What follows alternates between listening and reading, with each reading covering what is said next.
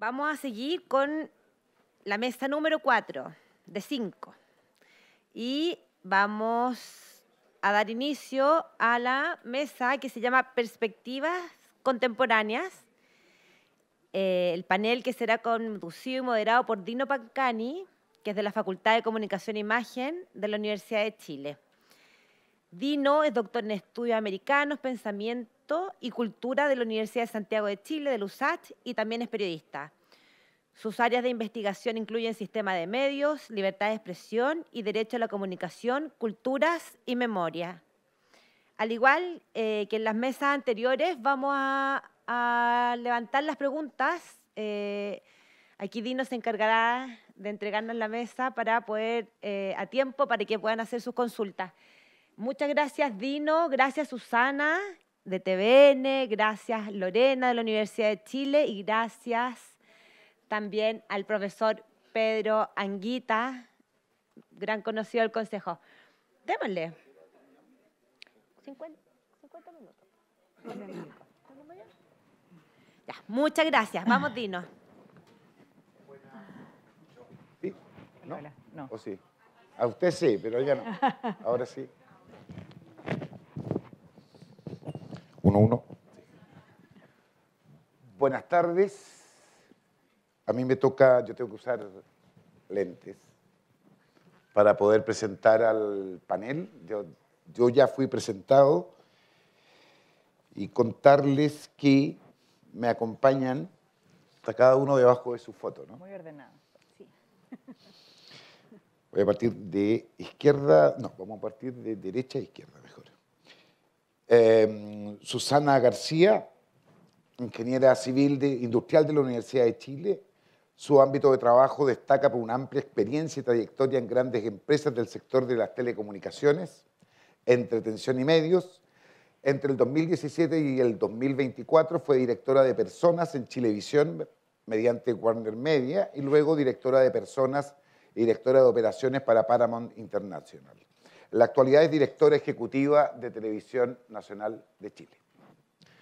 Un poquitito al centro está Lorena Antesana, periodista y licenciada en Comunicación Social de la Universidad de Chile, doctora en Comunicación e Información de la Universidad Católica de Lovaina. Su ámbito de investigación se relaciona con los estudios en televisión de recepción y consumo crítico de medios. Es directora del Núcleo de Investigación de Televisión y Sociedad y encabeza varios estudios nacionales e internacionales sobre televisión, educación y memorias, como el proyecto Fondesit, la plaza pública de las mañanas, matinales televisivos y sus audiencias en un contexto de democracia fragmentadas. Actualmente es profesora titular de la Facultad de Comunicación e Imagen de la Universidad de Chile. Y Pedro Anguita, que es abogado, magíster en Derecho e Informática y doctor en Derecho, experto en regulación constitucional y legal de los medios de comunicación social, libertad de expresión y protección civil y penal de las personas frente a la actividad de empresas informativas.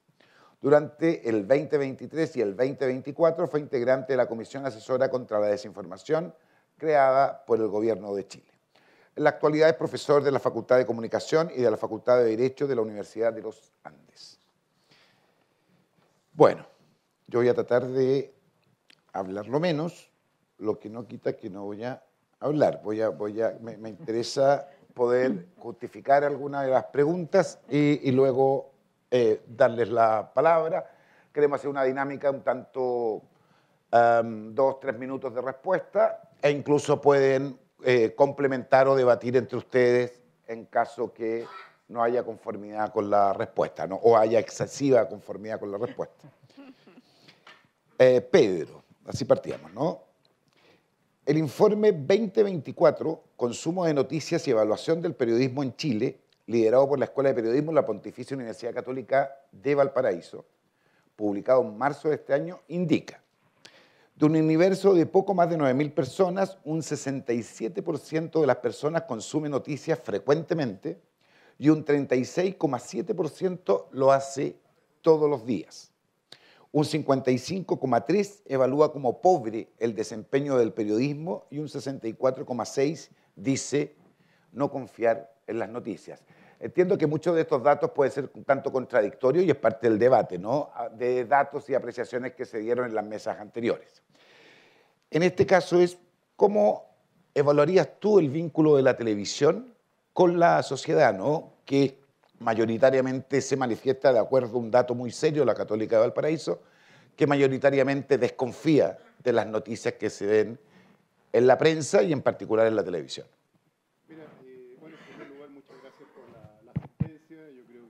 No te escucho. Ahí sí.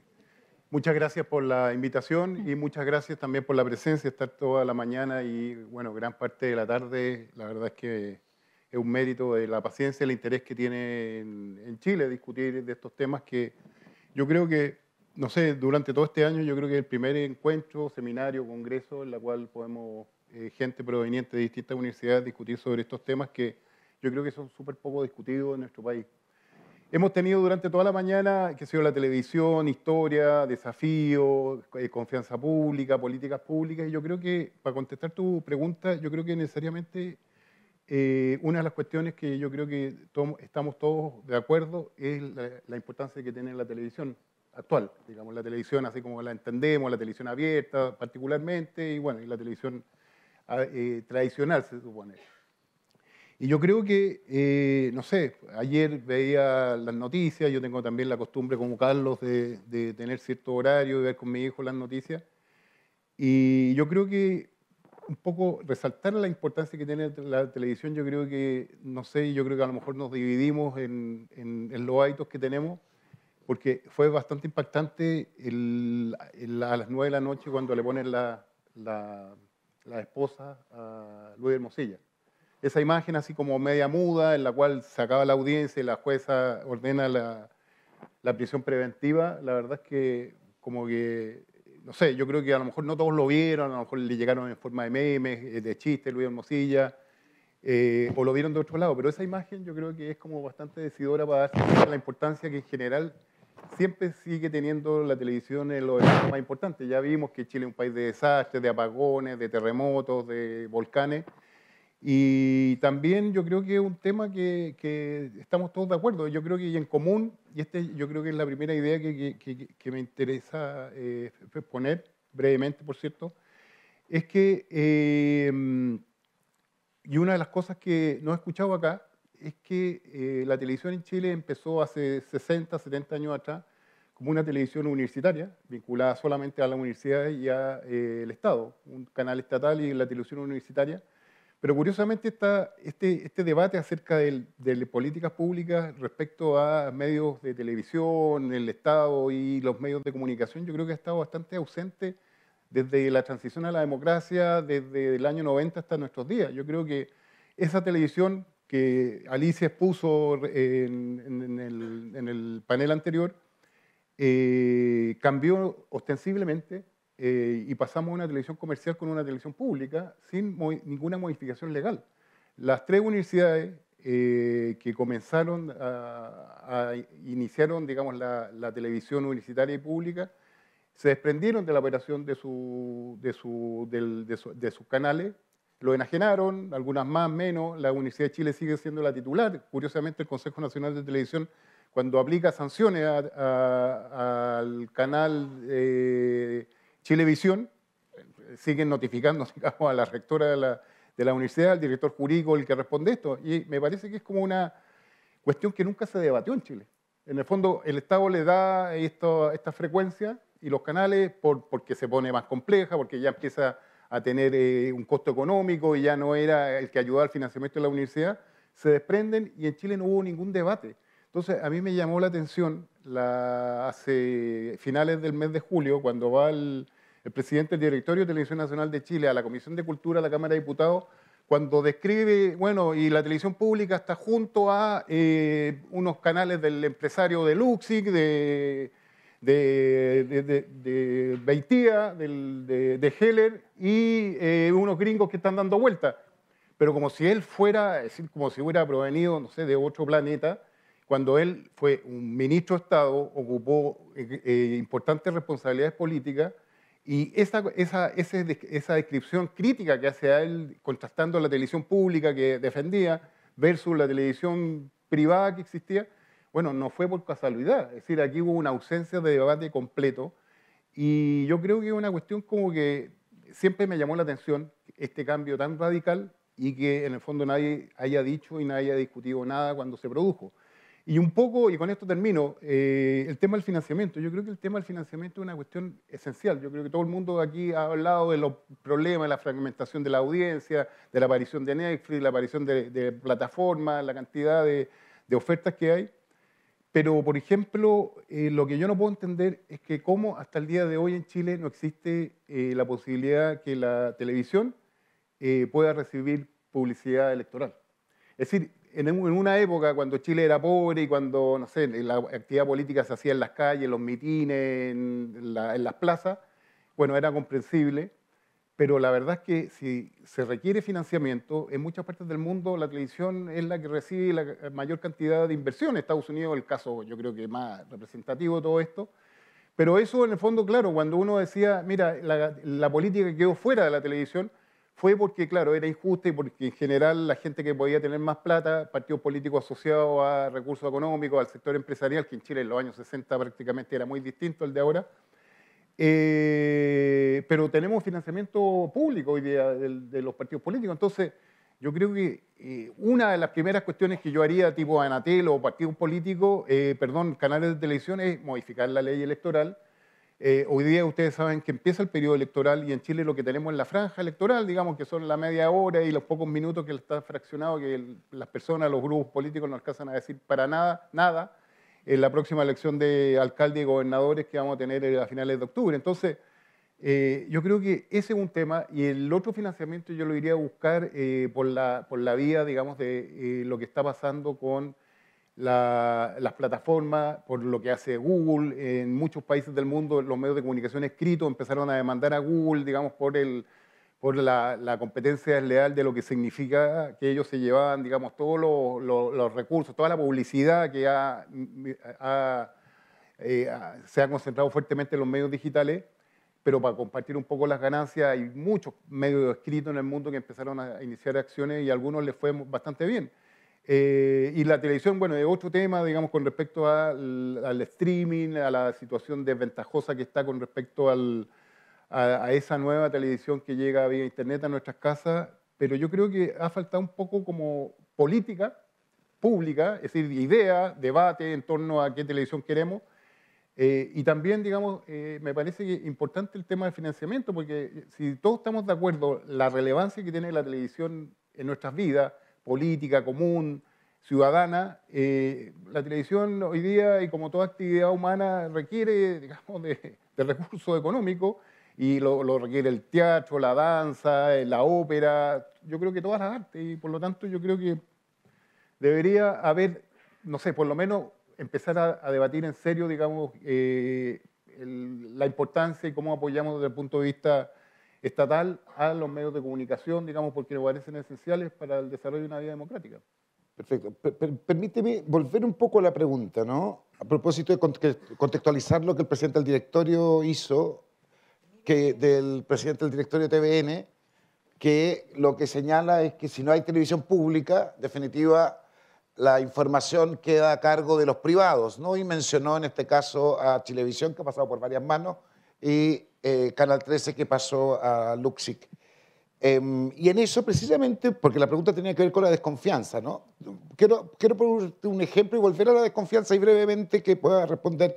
Mencionaste el caso de Hermosilla, pero fíjate que hace casi 90 días atrás, las últimas noticias después de, de que dejaron en prisión preventiva a Jadwe, pone una foto de Jadwe en primera plana y dice las razones de la jueza que dejó en prisión preventiva a Howard. ¿sí?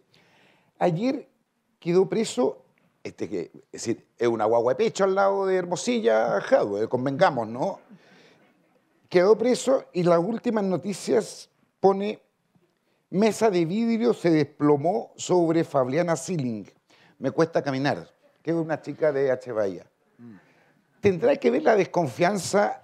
¿Alguien me podría decir hay estudiantes de periodismo y periodistas, ¿no?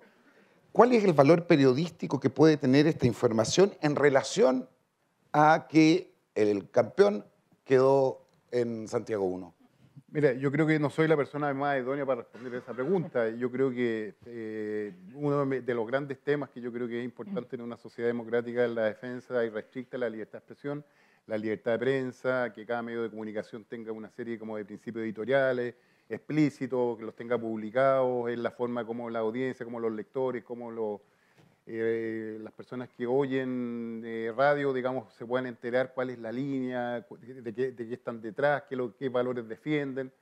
Pero claro, últimas noticias, claro, uno dirá, el tema de Luis Mesilla debería haber sido la, la, portada de todos los medios de comunicación y sí, a mí me, la verdad es que me cuesta entender, digamos, una noticia frívola, el, el LUN, digamos, tiene mezcla género y yo creo que puede ser, digamos, que a lo mejor el poder que tenía se reflejó en, la ausencia de esa portada de, de las últimas noticias, pero, pero me parece, bueno, legítimo, pero como lector yo creo que la única noticia del día, de la mañana y ayer después de su ingreso a prisión preventiva, de hecho, el presidente de la República salió hoy día y el gran tema es por qué el presidente de la República habla, digamos, sobre una persona que entra a prisión preventiva y las repercusiones que esto tuvo, eh, pero era el tema. Pero Perfecto. el tema, ¿por qué hay medios de comunicación que lo, lo tienen en la primera eh, página, en la última, o no lo cubren? Yo creo que eh, es parte de la oferta en la cual los lectores y los ciudadanos escogemos nuestro consumo diario. Yo creo que todo acá, y eso es uno de los grandes problemas que hay, es que estamos sobreinformados. Sobre todo yo estoy vinculado a la universidad, me interesa, yo, estoy, yo soy abogado en una facultad de comunicación y estoy porque yo creo que la vida, digamos, sin medios de comunicación para mí sería como un infierno. Yo creo que si existe el infierno, a mí me van a mandar a un lugar donde no exista la posibilidad de saber lo que pasa en el infierno, en el cielo y en el purgatorio, yo creo. Si creo, Gracias, si creo en eso. ¿ya? Gracias. Yo te puedo invitar a TV entera. Es, eh, puede hacer una asesoría. Claro. Que no te quiten el teléfono. Eh, Susana, en el informe Más amplitud, más voces, más democracia, aportes para las comunicaciones del Chile que viene, que fue un informe que se le entregó al gobierno hace aproximadamente un año y medio, se consigna que hicieron tres universidades de acá, ¿no? la Universidad de Chile, la de la Frontera y la de La Serena, que andan por ahí dos de sus autores, se consigna que UNESCO plantea que el camino para la libertad de expresión más robusta es la multiplicidad de medios, diversidad y calidad, y propone que un ecosistema saludable de medios requiere de medios comunitarios, privados y públicos. La pregunta, ¿no? ¿Un medio de comunicación público puede tener la obligación de autofinanciarse? y, y, y la amplío, ¿no? ¿Qué, ¿Qué diferencia a TVN de el canal de Heller, de Luxic o de los Gringo. gringos que andan dando vueltas? Los gringos. Bueno, eh, traje con los gringos. Sí, ya, sí lo sé. Eh, yo creo que toda la mañana estuvieron hablando de TVN, ¿cierto? Así que vengo aquí como a, a complementar y, y, a poner la cara. Eh, Primero estoy totalmente de acuerdo con lo que dice UNESCO. ¿ya? Yo, no hay nada mejor que tener complementariedad de medios. Eh, yo lo, el aprendizaje que tengo de televisión lo tengo de los medios privados. Creo que todos como medios de comunicación tenemos una responsabilidad que además está escrita por, en la ley, así que no es necesario trabajar en un medio llamado público para tener responsabilidad respecto a la que los medios tienen. ¿ya?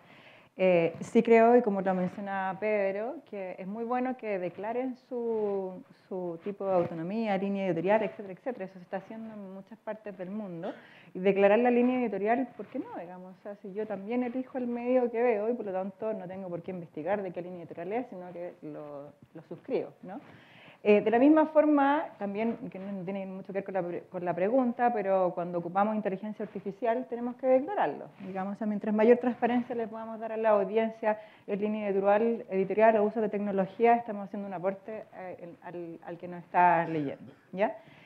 Eh, sin lugar a dudas, eh, esta industria en crisis, que a lo menos yo que me quedé hasta el mediodía, eh, es rico estar en un lugar donde todos entienden a todo esto, ¿no? Porque estamos hablando, todos entendemos plataforma, no necesitamos hablar de la tele como solo de libre recepción, sino que como un ecosistema de medios.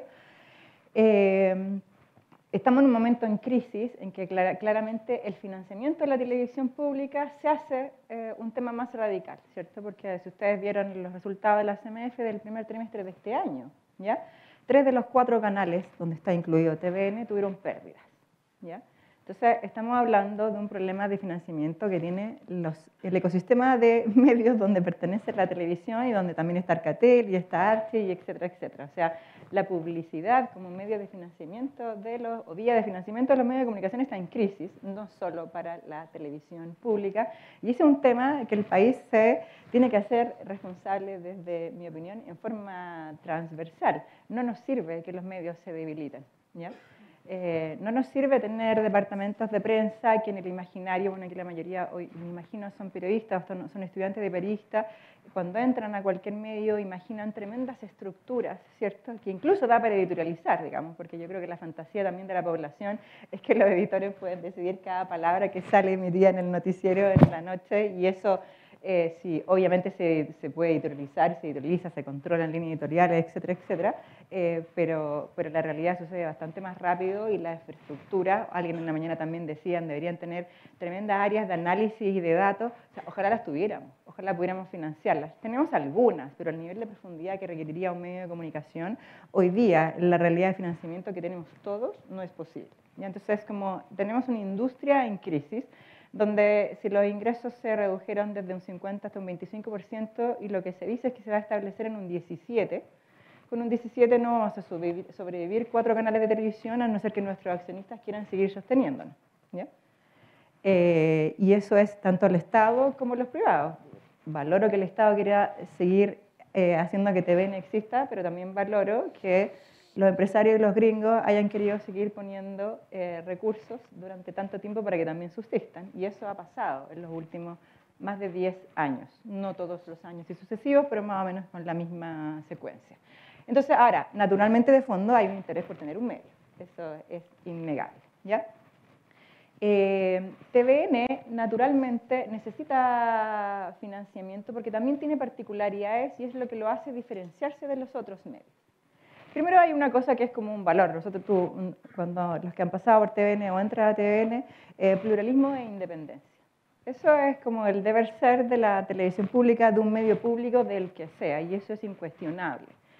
Y, lo que es nuestra sombra, que es el autofinanciamiento, al cual me imagino en la mañana también conversaron y que genera muchas crisis, digamos, y que también significa que hay ciertas misiones que no podamos cumplir, también es nuestra luz porque el pluralismo y la independencia que TVN ha logrado en los últimos 30 años, después de, la ley del 92, también tiene que ver con que el gobierno corporativo y la forma en cómo se eligió, ¿cierto?, hace que podamos ser pluralistas e independientes. Siempre. En las crisis, en la crisis del señor Morcilla y en la que sea. ¿ya? Eh, y lo pongo bien, bien fuertemente porque todos tendemos a criticar eh, eh, lo que se hizo en ese minuto, pero tuvo luces. O si nosotros miramos el vecindario miramos otros países de Latinoamérica que son 100% financiados, ¿ya? o que tienen distintos tipos de financiamiento, en muchos de ellos están bajo el alero del gobierno de turno. Y estar bajo el alero del gobierno de turno significa no tener independencia. Eh, y eso es grave. Eh, y podemos llegar al límite de una lo Venezuela eh, o podemos estar en la dinámica que está hoy día la televisión pública argentina también. ¿ya? Eh, entonces, eh, esa famosa ley que fue, uno podría decir, tan dañina desde la perspectiva del financiamiento, sí tuvo luces de, independencia eh, y que hoy día todavía sigue asegurando que incluso cuando nosotros miramos los estudios y miramos lo que, lo que dicen las audiencias, no nos reconocen como público, tampoco nos reconocen con ninguna asociación al gobierno de turno y lo que también es muy sano, o sea, no, no, están distinguiendo que estamos en una u otra voz. ¿ya?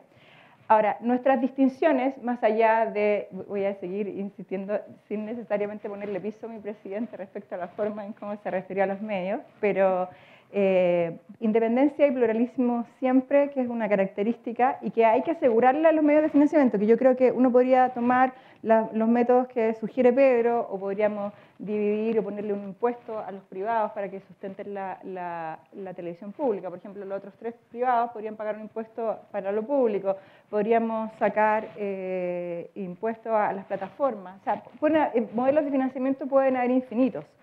El tema es cómo aseguramos que la televisión pública con ese tipo de financiamiento siga siendo una televisión atractiva. Porque también lo que, que ha pasado en el vecindario es que cuando la dejamos de ser competitivos y dejamos de buscar audiencia masiva, dejamos de ser, eh, no voy a decir relevante, porque un punto de rating puede ser, de un contenido puede ser igual de relevante con contenido que llega a más personas. Pero cuando tú tienes eh, programación que no llega masivamente, tus noticiarios finalmente no son vistos por nadie. La forma en cómo decidimos eh, influir el país, promover los valores democráticos, informar, educar, no es relevante. Entonces, eh, este financiamiento sí tiene que estar acompañado de desafíos y de metas objetivas de masividad para llegar a la población, porque si no pasa lo que pasa en Brasil donde tienes, eh, hablamos en la mañana, ¿cierto? más monopolio y canales públicos muy poco masivos y por lo tanto muy poco relevantes y por lo tanto con muy poco músculo para poder impactar en la educación cívica o en la promoción de valores de, de, la población. Me encanta que la conversación salga, no está resuelta, hay que resolverla, pero todo tiene luces y sombras. Cuando te financian también, o sea, y uno mira ejemplos de otros lugares del mundo, también es complejo. Hoy día podríamos decir qué es lo que está diferenciando TVN del resto de la televisión. Tiene que ver con roles distintivos. Y voy a salir de la palabra pública, porque la palabra pública eh, está súper manoseada, digamos, ¿no? y la construcción de lo público también. Entonces, ¿cuáles son los roles distintivos que tiene hoy día TVN respecto a otros actores privados? Eh, lo, lo primero lo dijo Alicia, que tiene que ver con el alcance. Hoy día la red que tiene TVN es la mayor red a lo largo de todo Chile, con más de 200, se tiene cerca de 240 concesiones y más de 140 antenas físicas. Y eso permite llegar a territorios donde nadie llega. ¿ya?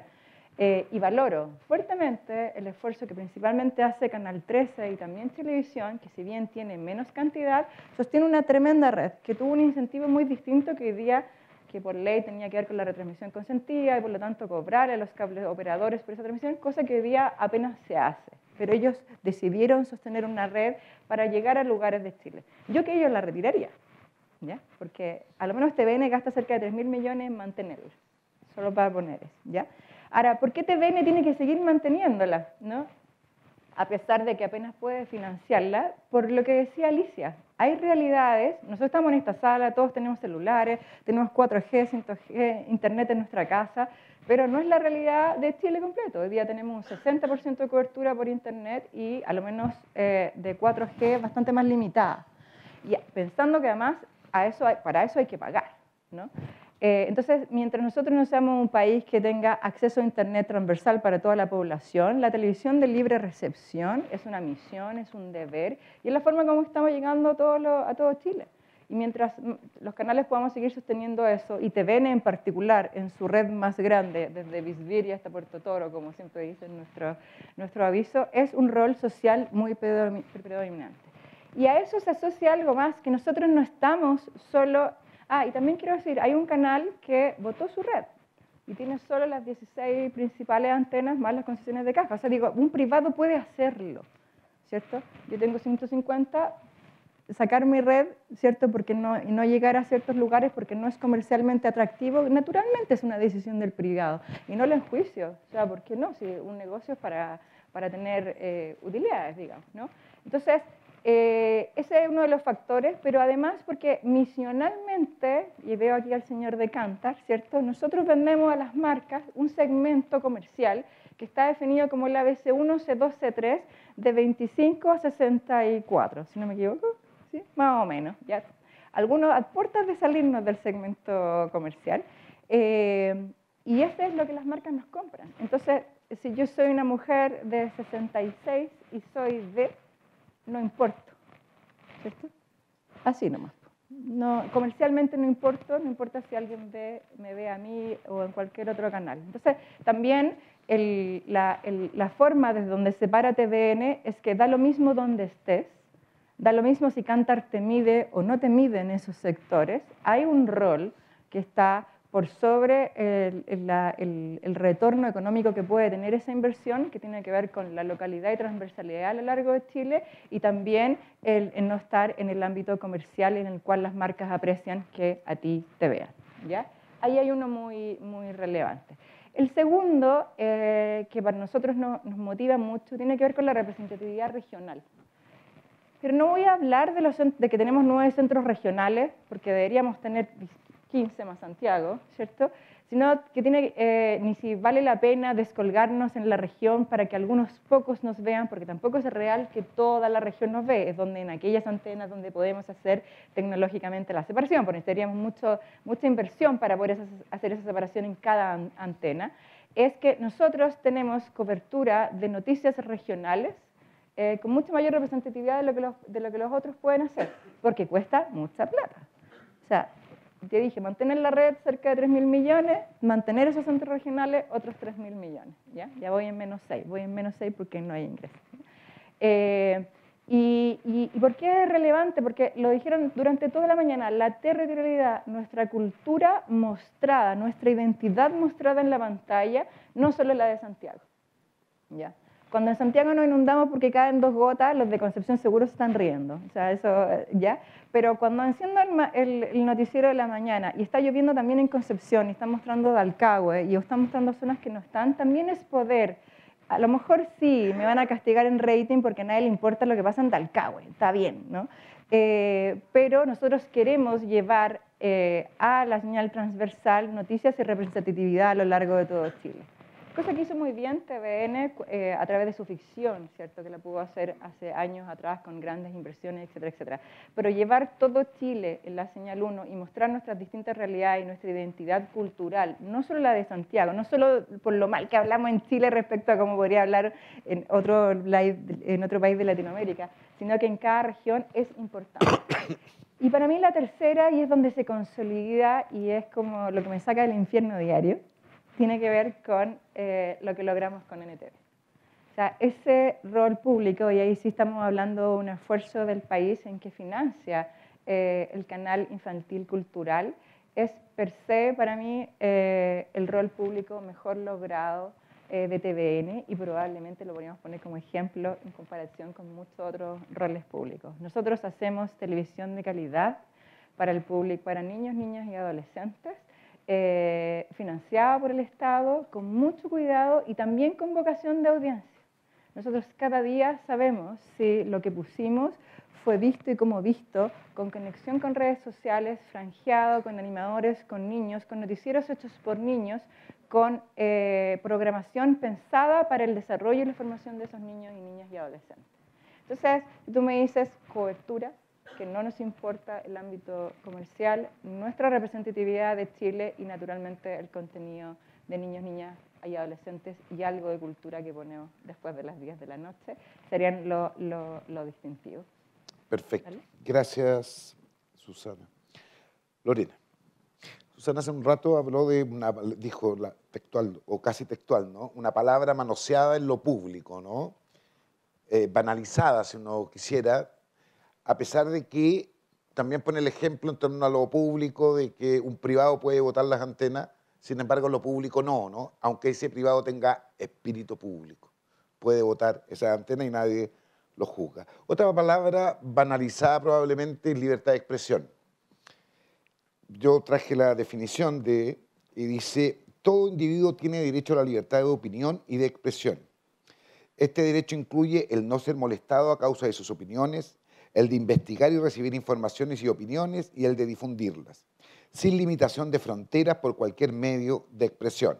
Artículo 19, Declaración Universal de los Derechos Humanos, 1948. ¿no?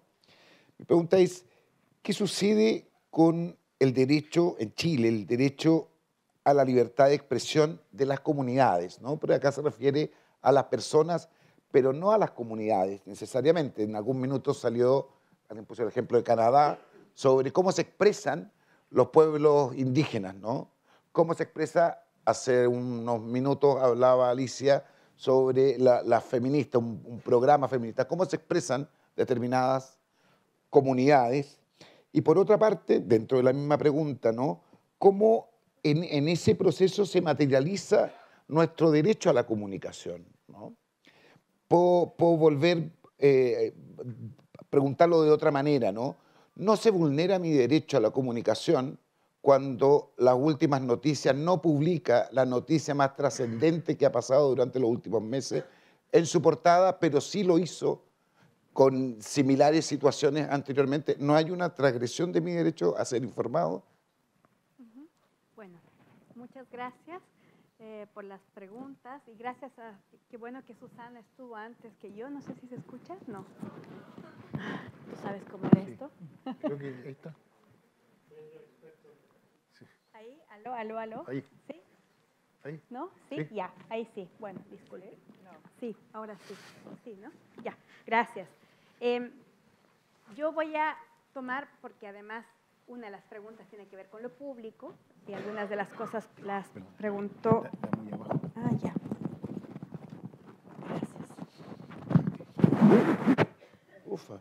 Todo eso estaba estudiado, era solo para llamar la atención de, la, de, los que estaban acá, claro, para que despertaran un poco, pero bueno, pasado eso.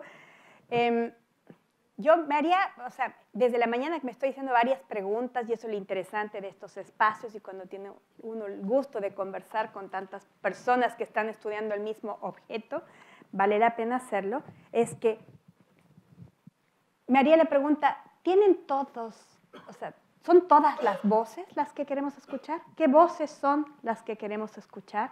¿Qué voces son las que tendríamos que escuchar? ¿O, quién, o cuáles son las voces que están hablando ahora y que no dejan hablar a otras. ¿Y, por qué me lo preguntaría así? Y tiene que ver precisamente con el tema ético y eh, con el tema formación profesional. ¿Cuál, ¿Cuál es la diferencia entre alguien que está en su casa grabando algo y algo que pasa por un canal de televisión?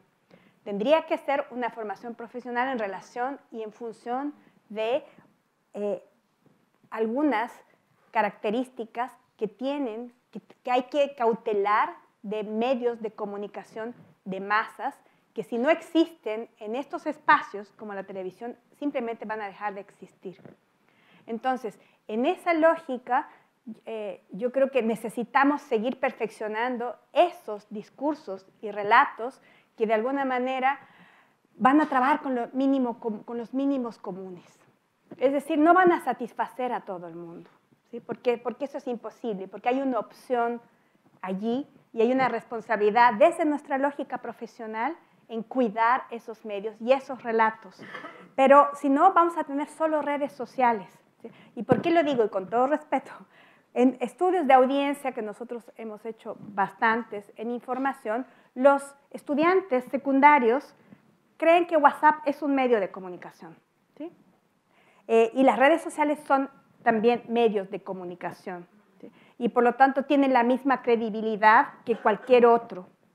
Esto lo están pensando nuestros estudiantes de colegios de 15 años, de 14, 15 años.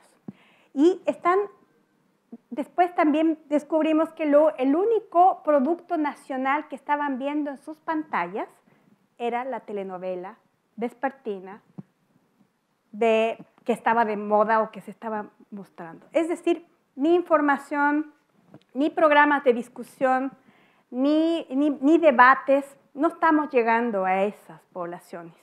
Entonces, en ese sentido, ahí hay un gran riesgo porque las redes sociales, WhatsApp, sus medios propios, lo que les llega, siguen segmentando a la audiencia, pero las están sacando del tiempo y espacio que los conecta con una comunidad, con un territorio, con ciertas necesidades. Y eso yo creo que es algo que hay que cautelar aunque, aunque cautelar en el sentido de que sí, está bien, libertad de expresión, el principio, bajémoslo a nuestra realidad, a nuestra función social, a nuestra responsabilidad profesional, a la lógica ética. Queremos reproducir la, polarización, el odio, eh, la, catarsis que ocurre en, en las redes sociales. Queremos que las personas se autoexcluyan de participar en esos espacios porque se sienten agredidos, vulnerados. No va a ser perfecto, pero va a ser algún principio de construir comunidad. Entonces, eso en relación a la, a la libertad de expresión. Ahora, en relación, cuando uno habla de lo masivo y de este mínimo y de estos relatos que permean, y ahí presto atención y me, y me encanta que, que aquí eh, eh, hayan estado las, la televisión comunitaria y también tener a las regiones, ¿sí? Porque entonces, ¿cómo hacemos para que esos discursos y esos relatos de ese Chile tan distinto pueda llegar a esa escena? ¿O de qué manera? Eh, y sin tener una respuesta, yo creo que hay que empezar a pensar al sistema televisivo, si se quiere, como un conjunto, en una lógica más bien virtuosa y solidaria. Siempre que se, se deja al mercado tomar las decisiones, sabemos lo que ocurre, no, no tenemos nada. si es que el mercado las va a tomar, va a seguir ocurriendo lo mismo. Entonces, cada uno, cada actor tiene su propia experticia y la idea es cómo aprovechar esas experticias para generar un círculo virtuoso que permita hacer lo que decía Alicia, experimentar, eh, traer otros relatos, incorporar a, las televisiones regionales, a, los grupos eh, o etnias distintas en una lógica que vaya como alimentándose y nutriéndose para construir relatos que de alguna manera muestran una perspectiva, un pasado, un presente y un futuro, cosa que se está perdiendo con la segmentación y se está perdiendo con el algoritmo y se está perdiendo con el bloquear al que piensa distinto. Entonces, no nos va a gustar toda la televisión y vamos a cambiar de canal quizás, pero al menos tenemos esa opción. Si no tenemos eso, no tenemos ningún espacio ni siquiera para bloquear al otro. Entonces, sí, derecho a la comunicación, pero pero en, un contexto, en un país, en un proyecto de sociedad que efectivamente tiene que cambiar muchas cosas que no han funcionado bien. Muchas gracias, Lorena. Eh, nos queda poquito tiempo. Pedro, vamos a... Mira, de las 1.385 denuncias recibidas por el Consejo Nacional de, Televisión durante este mes de julio, dos son para Canal 13 y otras dos son para Chilevisión general todos los canales reciben eh, denuncias, ¿no? Por otra parte, existen varios códigos de ética en el ámbito de las comunicaciones. El Código Chileno de Ética Publicitaria, está el Consejo de Ética de los Medios de Comunicación, que es ANP, que el Mercurio mismo se, pone multa, ¿no? Como el Mercurio, la tercera. El Código de Ética del Colegio de Periodistas y el CDNTV, que tiene algunas orientaciones que son Em, digamos, interpretables por, los, por sus directores, ¿no? Directores más, más amplios. ¿No existe una urgencia de que haya un solo código de ética que pueda efectivamente a los medios de comunicación poder eh, regirlos? A ver, eh, creo que yo suelo ser escéptico de las regulaciones. Se supone que desde el punto de vista de la libertad de expresión, como el tema de la regla, de la multa, de la sanción, en general siempre hay que mirarlos con, con, bastante cuidado porque al final tiene un efecto sobre los medios de comunicación y los periodistas. Si existe la libertad de expresión, como tú bien leíste del artículo 19 de la Declaración Universal de los Derechos Humanos, tenemos nuestra Constitución Política, artículo 19, número 12, la Convención Americana de Derechos Humanos, el artículo 13, muchos instrumentos internacionales y tenemos leyes eh, dentro de nuestro país que aseguran y garantizan la libertad de expresión, la verdad es que tenemos que ser un poco renuentes frente al tema de la, de la sanción estatal. Tribunales de justicia, pero desde el punto de vista deontológico, yo creo que uno de los temas, y no quiero volver, digamos, yo lo único en común que tengo con Luis Hermosilla, que somos, yo también soy abogado, pero el tema, digamos, de la ética, este es otro tema que ha estado ausente en nuestro país los últimos, no sé, desde el año 78, 81, en la cual se acabaron la, la tutela que tenían los colegios profesionales y la obligación que tenían ciertas carreras de inscribirse en el colegio profesional para poder ejercer determinadas profesiones, se acaba y cada cierto tiempo, así de tarde, mal y nunca, se habla de nuevo de volver al tema de exigir esta colegiación, no solamente con respecto a los periodistas, eh, no solamente con respecto a los abogados, sino también a los médicos. ¿ya? Ustedes saben las decisiones que tienen el ejercicio de las carreras liberales como estas tres clásicas eh, implican una cuota, es decir, un poder sobre personas implica un poder de, una llegada a la justicia y en el caso de los médicos tiene que ver con, no sé, con el diagnóstico que uno hace y con la importancia y el, y el deber deontológico y médico con respecto al, a escuchar al paciente y diagnosticarlo adecuadamente. Y bueno, y tenemos el caso, digamos, en todos estos ámbitos, digamos, en la cual hay una, una, crisis bastante grande, el tema de las ventas de, de, licencias médicas, es decir, como que eh, yo creo que, y para qué decir, bueno, el tema de los abogados y en el tema de los periodistas es como más complejo porque, claro, existen sistemas de autorregulación en Chile. Eh, la presidenta del directorio Canal 13 en la mañana hablaba de las orientaciones programáticas. Durante la década del 90 todos los medios de comunicación empezaron, eh, y el primero fue Televisión Nacional de Chile, que sacó sus primeras orientaciones programáticas.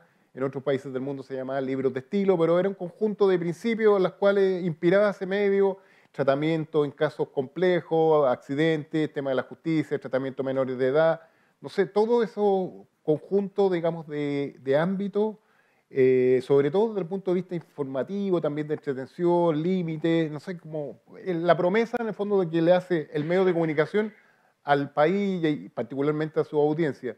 Y yo creo que eso ha tenido poca aplicación. Los, los medios de comunicación, los cuatro canales tienen sus orientaciones programáticas, los canales nacionales, pero yo creo que tarde y mal y nunca, yo creo que entra un periodista, digamos, y no tiene idea de qué se trata, y casos, digamos, que son súper obvios y hay unos errores que son inexcusables, eh, pero falta. Yo creo que eh, hay un campo, a mí me encanta la libertad de expresión y no me gusta en el fondo la sanción, pero como toda actividad humana requiere reglas, requiere principios, requiere límites. Eh, hay personas que son perjudicadas por la actividad de los medios de comunicación algunos casos muy graves, eh, hacen pedazos vida muchas veces por algunos errores que son de, aprendices y que deberían ser más cuidadosos en el tratamiento de la información, el tema de la presunción de inocencia, hay un montón de campos y yo creo que eh, hay un, déficit, yo creo que bastante significativo en general, en el fondo, en el control deontológico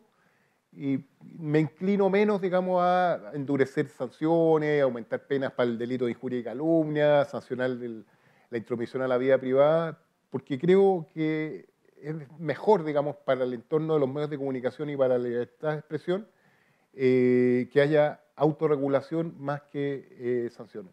Gracias, Pedro. Susana, según otro estudio, el mapa de la televisión en Chile y consumo de medios, también del Consejo Nacional de Televisión, que publicó el año pasado, indica que la televisión abierta es el cuarto medio más consumido por las personas en Chile, el 64%, superado por las redes sociales, el 94%, si uno piensa que WhatsApp es un medio de comunicación, eh, los videos en línea un 88% y los videos a demanda un 72%. ¿Cómo describirías las audiencias televisivas y si hay, por el hecho de ser público, puedo adivinar un poco por dónde hay la respuesta, ¿no? pero lo hago de todas maneras, por el hecho de ser público, si es que hay una exigencia eh, particular a TVN, ¿no? Puedo contextualizarlo. TVN ha salido mencionado mucho más que los otros canales durante la jornada. ¿Hay una exigencia distinta a TVN de, que los otros canales de televisión? A ver, yo separaría cuando nosotros miramos y hacemos estudios de audiencia, y eh, la audiencia común no, hay, no hace mucha diferencia de TVN respecto a otro medio. Y básicamente lo que busca es información y entretención y verse reflejado en la pantalla. Eh, y si hoy día nos están viendo menos que antes, lo que los estudios dicen es porque nos volvimos aburridos. ¿ya? para, cerrar el tema así como de la masividad, porque nosotros salimos buscando muchísimas hipótesis de, de por qué había bajado la audiencia y asociaciones al gobierno de turno, ahí está el anterior, aquí, allá, etcétera, etcétera, no hay. El TVN ese día tiene menos audiencia en algunos horarios, porque hay otros que estamos ganando, ¿ya? es particularmente porque estamos más aburridos que los otros y eh, estamos todavía en un proceso de, construcción. pero cuando vamos al análisis de stakeholders, hagan lista ustedes, pues, ¿qué escucharon ustedes hoy día? El Senado quiere que transmitamos las sesiones. El municipal quiere que demos el concierto de dos horas y media. Eh, la Asociación de Cine quiere que transmitamos todos sus documentales. Eh, los colegios que transmitemos sus ceremonias, los evangélicos que transmitamos el TV, un evangélico y los católicos el ecuménico.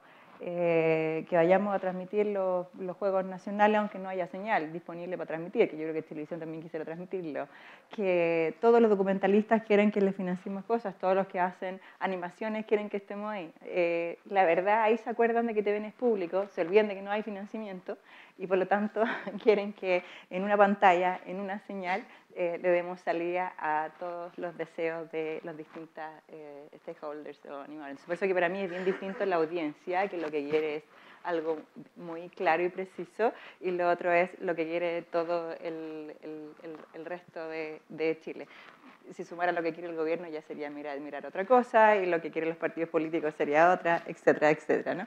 Y ahí estamos. Eh, y por eso que mientras más reclamos recibo al día de gente que está enojada con lo que hace TVN, los primeros meses llevo solo cinco, eh, lo pasaba mal. Y ahora digo, yo creo que lo estoy haciendo un poco mejor porque hay más gente enojada.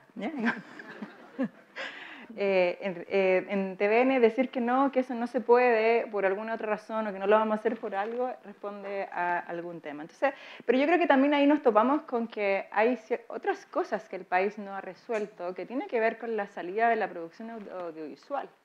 Eh, nuevamente hay un, sector muy importante que, que cree que los canales de televisión podemos financiar producción audiovisual ojalá quisiéramos. O sea, yo creo que a Iñaki que lo veo ahí, o sea, ojalá pudiéramos hacer eh, ficción y poner series y tener una programación, ir a filmar otra eh, teleserie a Rapanui, mandar los móviles en barco y otra en Chiloé y una tú en, no sé, o sea, hagamos ficción, hagamos representación, o sea, ojalá pudiéramos, ojalá tuviéramos la capacidad, ojalá tuviéramos la inversión que se requiere para poder poner contenido de este nivel en la pantalla de televisión abierta. Hoy día no podemos, ¿ya? Eh, entonces, eh, lo, que, lo que espera la gente es algo que hoy día es imposible, que está atrapado también por el, por el financiamiento, no solo de TVN, sino que de la industria completa.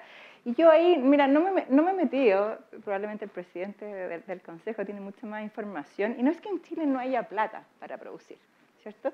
Yo creo que también está en cómo se está articulando, en dónde están los distintos fondos, cómo se está participando, cuáles son las preferencias sobre las pantallas y las, los eh, de dónde se transmite.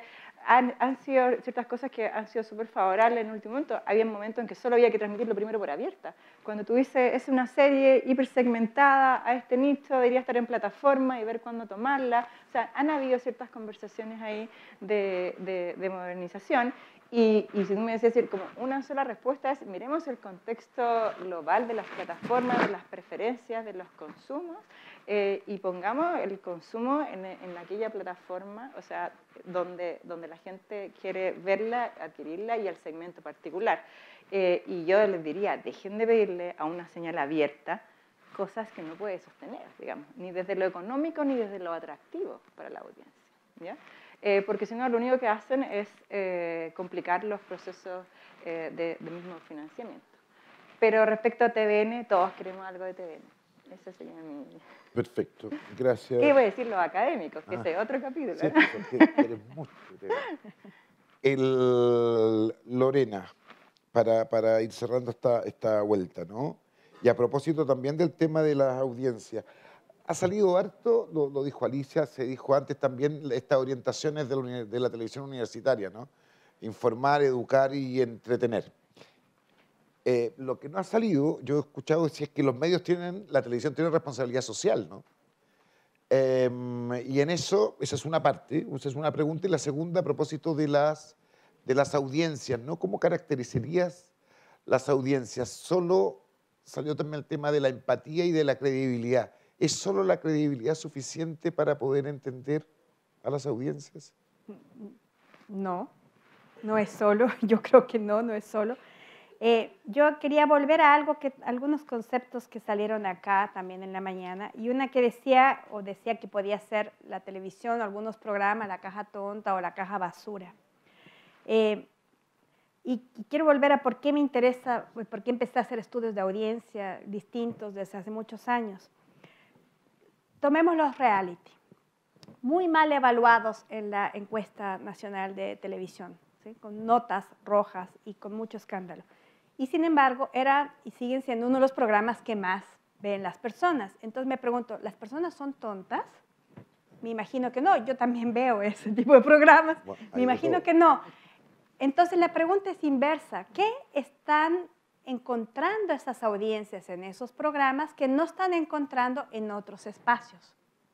Por lo tanto, y ahí vuelvo a los jóvenes y a, mi interés por los jóvenes y por lo que estamos formando como futuras generaciones, eh, ellos están cada vez más lejos de esas pantallas y están más lejos de casi todo lo que tenga que ver con relatos nacionales o globales. Eh, porque son de nichos, son segmentados, porque si se van a vivir solos ya no, hay no tienen televisión. Entonces, mi, pregunta es, partiendo de la base que no, no son personas tontas, que están encontrando allí cosas con las que establecen un diálogo que no hay en otras, tenemos que volver a preguntarle a esas audiencias qué es lo que están encontrando allí que uno pudiese ofrecer en otros formatos que sean entretenidos.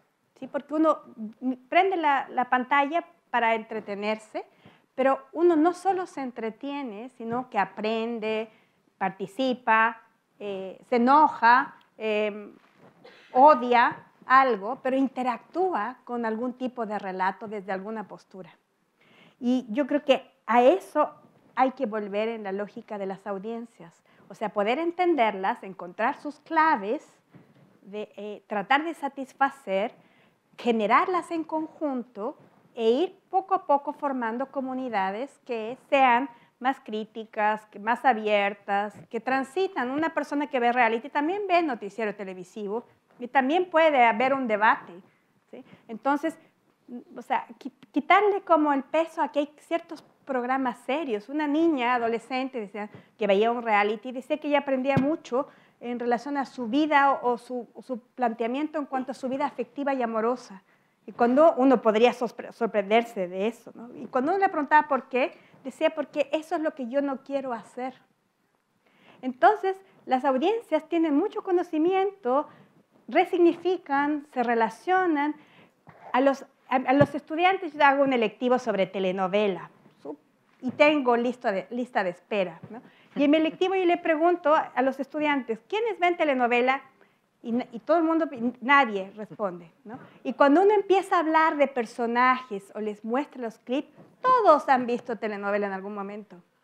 De otra forma, en otra lógica de consumo, eh, de, de, manera mediada en relación a otros, compartiendo.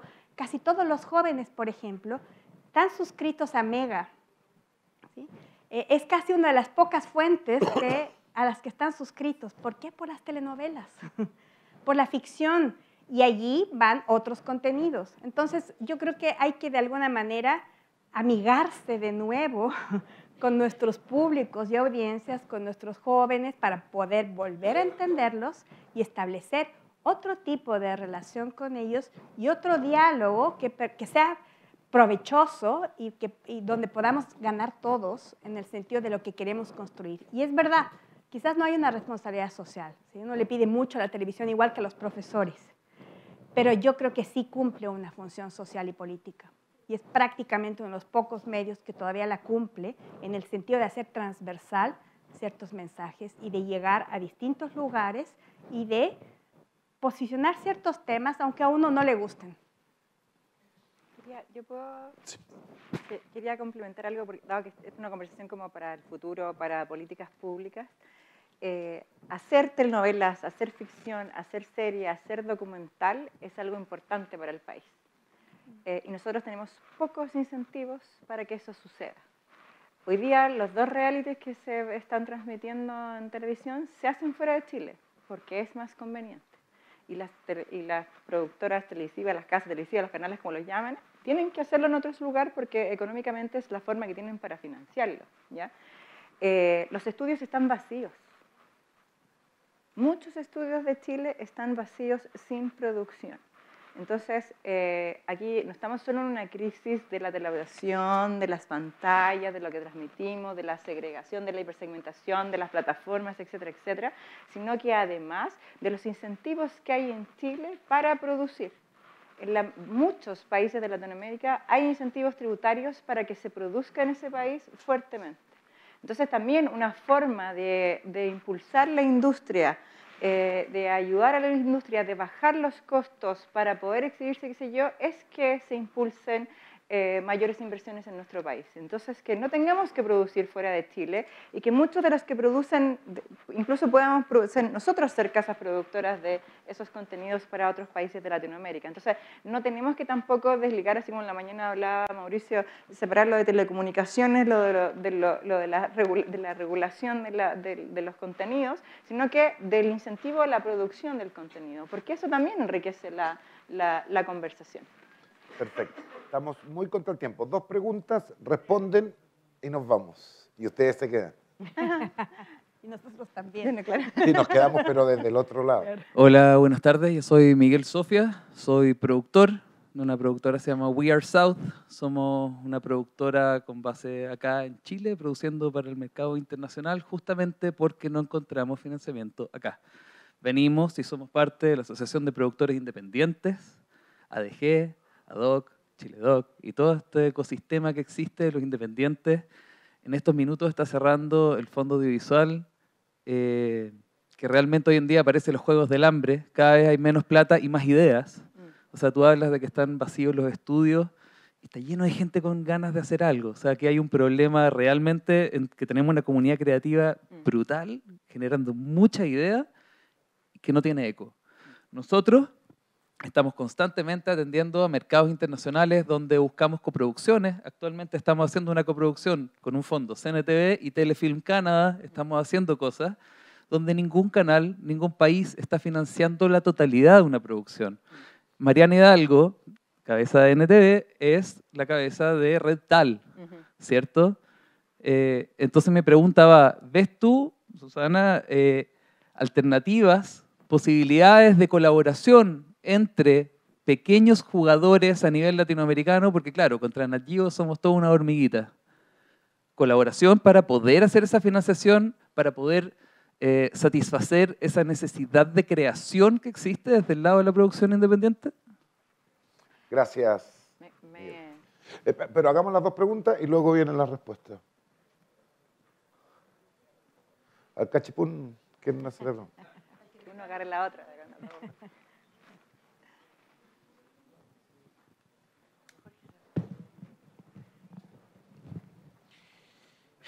Buenas tardes. Y seguramente la pregunta va a apuntar a doña Susana García. Uh, em, TVN. Sí, sí, no, sí está súper bien. Sí, un punto en común que tenemos los canales comunitarios con Televisión Nacional y eso lo hicimos saber don, eh, don Patricio, don Francisco Vidal, eh, es que tenemos servicio público. Tal vez en diferentes escalas, pero yo estuve revisando a propósito de las intervenciones que tuvimos delante, eh, que para nosotros la definición de un canal no es solamente un medio de comunicación, sino que nosotros recogemos las aspiraciones, también los sentimientos, lo que se expresa en diversas comunidades, algo que en algunos territorios no llega a extender las redes regionales de televisión nacional.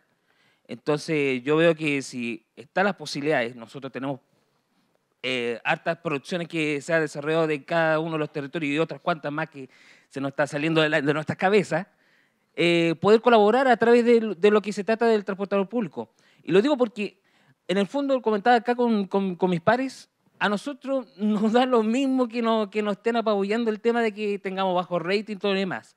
Y voy a citar a alguien que no lo conocen, viene de la industria del gigante de América del Sur, falleció hace poco, y citaron ahí una frase que dijo él, que mientras él estuviera vivo, él podía dar él quería que, en su canal diera monitos animados. No importa si tuviera bajo rating, no importa si tuviera eh, que se le animara el ingreso. Quería que hubiera monitos animados porque tenían un compromiso con las infancias. Tenían un compromiso, así como el caso de acá que se mencionaba con los adultos mayores, hay una obligación eh, social con cada una de las partes que han sido incluso históricamente postergadas. Esa persona no es chileno, Silvio Santos lo dijo. Y yo creo que algo para reflexión nuevamente ese, ese, esa tineta de agua que le dimos delante, se lo vengo a aportar acá desde la parte, desde las regiones. Muchas gracias.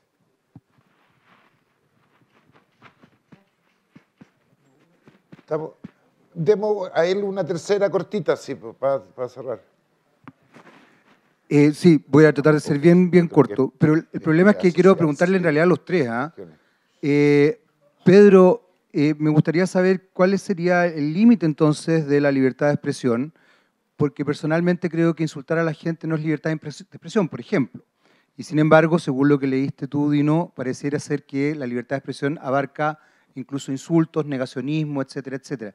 Me llama la atención que ninguno haga eco de que vivimos una dictadura de 17 años y que hemos construido un relato a partir de esa dictadura también. Pero bueno, quizás todavía falta otra mesa. Lorena, eh, quiero retomar la pregunta de Dino respecto a el tema de eh, la responsabilidad social. Porque una cosa es que efectivamente eh, tengas un rol social y otra cosa es que tú tengas responsabilidad social. Todos los que trabajamos en comunicación somos licenciados, magíster o doctorados en comunicación social. Tenemos responsabilidad social y los medios, privados o no, deberían tener responsabilidad social. Y entonces los relatos faranduleros que tú recién mencionabas establecen dimensiones de, esas características. Y Susana, dijiste en un minuto el tema de la, cosa política, ¿no? que finalmente si es que el canal fuera público y estatal tendría que eh, delimitarse de acuerdo a ciertos roles políticos o al gobierno de turno. Pero ¿no te parece que en realidad, y esto lo dijo Pierre Bourdieu en el 2002, eh, ¿no te parece que también eh, los, los empresarios, cuando están de alguna manera poniendo plata para ciertos programas, no están definiendo ciertas líneas editoriales? Juan Sutil le quitó el, ¿cómo se llama? el auspicio a CNN porque no estaba de acuerdo con la forma en que se llevaba. TVN, yo trabajaba en TVN en ese entonces, trabajé 14 años en TVN, desde el 92 al 2004 aproximadamente, 12 en realidad, si matemáticas no me fallan, pero me tocó ver cuando TVN tuvo que sacar una noticia del aire porque los amenazaron de que les iban a quitar un auspicio en los años 90. Entonces, creo que también establecer esta idea de que en realidad eh, eh, la libertad de expresión existe es un poquito eh, fantasioso. Esas son las tres preguntas. Ya, yo les pido muy breve porque viene una segunda mesa, ¿no? Bueno, yo te puedo hablar de, de los ocho años de experiencia televisiva que tengo en dos casas televisivas, cinco meses en TVN. Eh, viví la experiencia de CNN, pero por eso que yo creo que tú ahí te confunden. Algún empresario decidió quitar un auspicio a CNN a propósito de una línea editorial.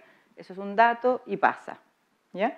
Y les puede pasar los cuatro canales de televisión. De hecho, yo sin duda no, no, le he hecho una encuesta a los empresarios, pero sí me junto con ellos, trato de juntarme habitualmente para ir a capturar inversión y sacársela a Iñaki. eh, están en su derecho ellos de publicitar y poner donde ellos quieran. Esa es como por una parte.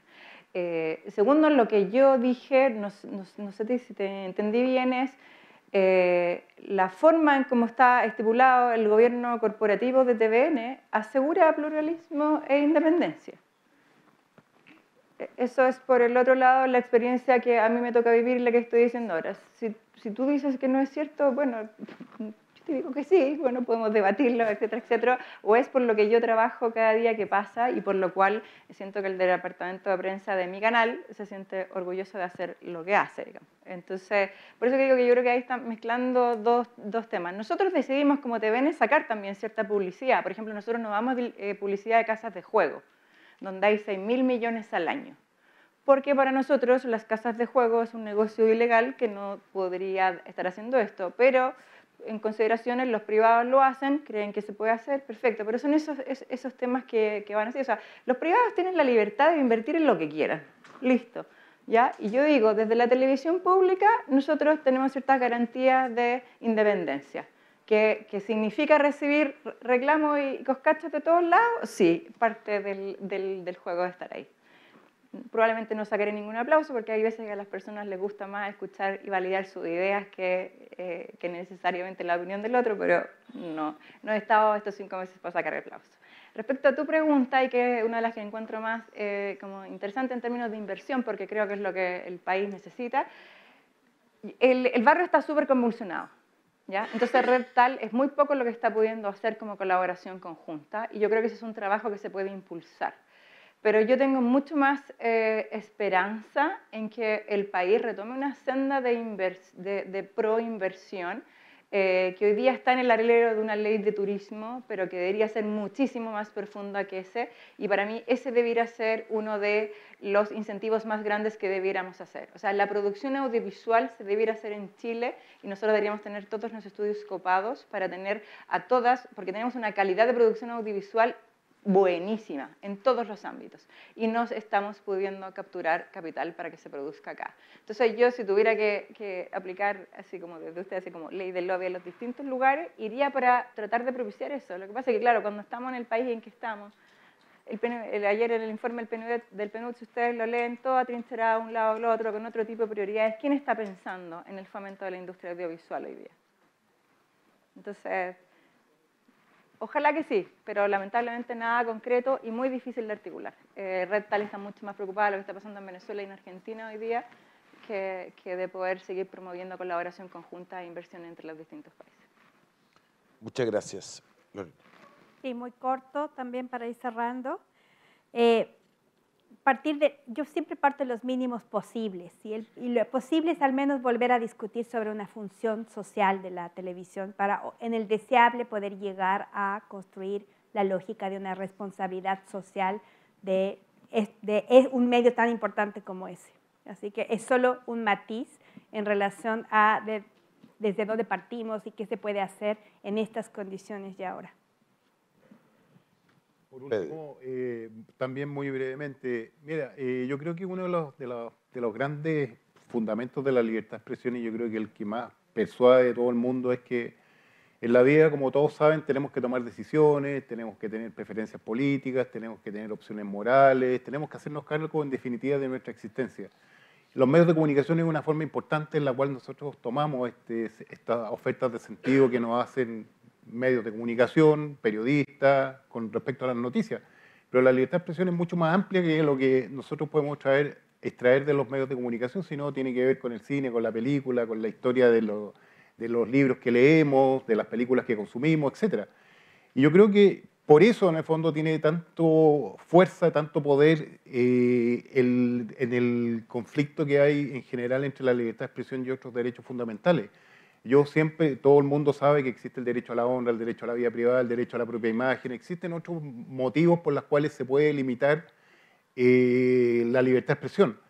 Pero en general, si Occidente por lo menos ha hecho algo en los últimos 200 años, es, mira, esto se trata de una libertad esencial para todos los ciudadanos y por lo tanto la excepción es que ceda frente, digamos, a un conflicto tratándose, por, por ejemplo, personas públicas, de personas que desempeñan alguna función política, cultural, deportiva, están mucho más expuestos, tienen que soportar el costo, digamos, de la fama y a lo mejor, bueno, obviamente de personas que son más desprotegidas, personas, ciudadanos, digamos, que se ven expuestos a errores, a, a mal ejercicio profesional, a lo mejor deberían tener también una suerte de satisfacción y tendrían que responder.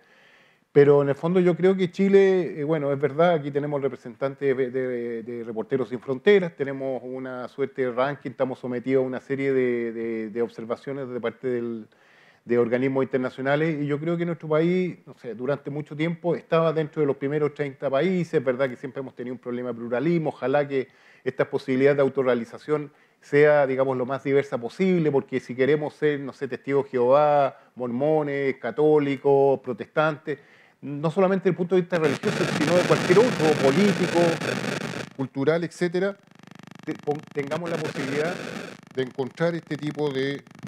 Parece que, bueno, me están cortando ahí. Muchas gracias.